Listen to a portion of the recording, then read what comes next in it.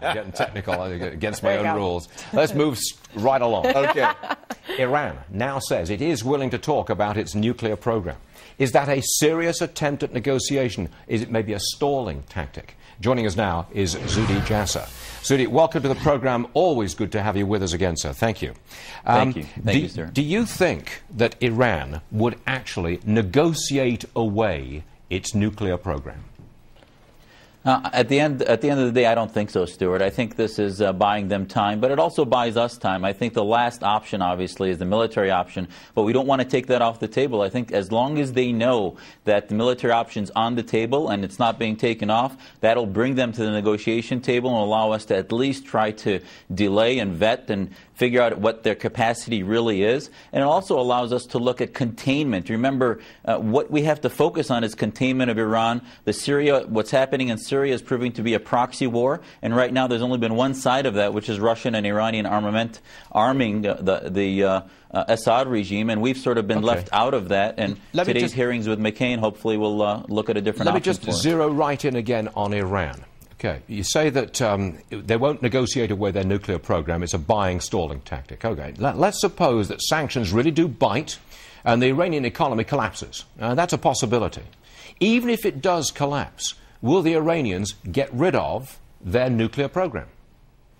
Well, right now, as you and I spoke uh, uh, previously, the hardliners have, after the recent election last week, the hardliners are now controlling the legislature. So the, the ones in the position of power today will not. But if the Iranian economy collapses, Stuart, it becomes a game changer in Iran where the green uh, uh revolution will be able to start pushing for more popular uh, control, start to actually let the Arab Spring, now the Iranian Spring, take back what it, what it gained in 2009. And that's how you ultimately bring about regime change and bring back back democracy to a society now that is just riddled with theocracy and autocracy, and, and uh, uh the hardliners basically have been in control. But, but, so but it's more of a long-term vision. Zuhdi, yeah, uh, to that point, though, wouldn't that, couldn't that also backfire? Couldn't, uh, couldn't the, uh, the mullahs and uh, Ahmadinejad say, listen, this is the West. They've crippled our economy. Couldn't that actually play into their hands if their economy gets weaker? Well, the pathway will never be clean. It'll be messy.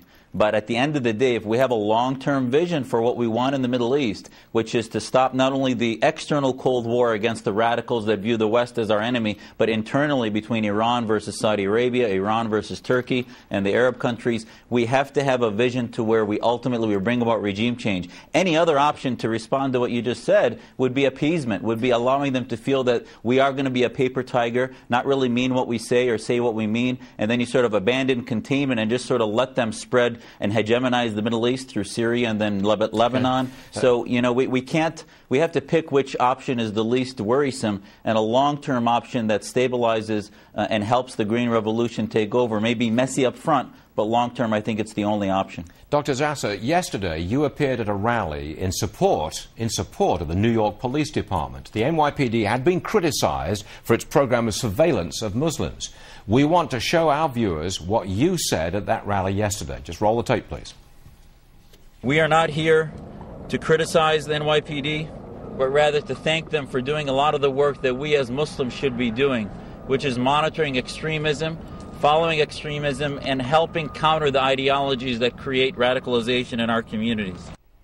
I have to say, Dr. Jasser, that um, we've not, if I may express an opinion, we have not heard enough of this, quite frankly. And I think you'd probably agree with me. Absolutely, and that's why you know the the NYPD has been taking a pummeling unfairly by the AP and the New York Times and a lot of the others that really use the Muslim issue as a partisan uh, bickering back and forth. And I think what we saw yesterday was also a game changer domestically. That these Islamist grievance groups, like the Council on American Islamic Relations, the Islamic Society of North America, which are really part of the Muslim Brotherhood political network in the West, are really don't speak for all Muslims. America saw yesterday over 20 organizations represented including women's rights organizations like the Alliance for Iranian Women and others, stand up and say, you know, yes, we're not, we, we want to protect our civil liberties. We're not saying the police should ever violate our civil liberties, but be fair. What they're doing is monitoring in the public spaces, monitoring organizations like the Muslim Student Association that have over 13 terrorists that have been identified and arrested, not to mention that we have a problem. And where you have over 80% of the terrorists coming from 1.5% of the population, if we stop complaining, and I'll tell you the most important message, Stuart, is that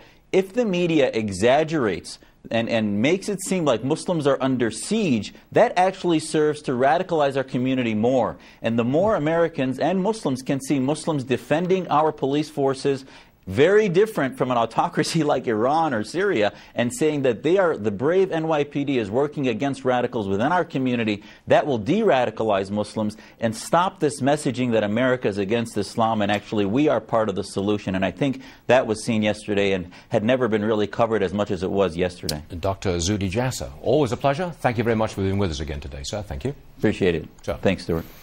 All right.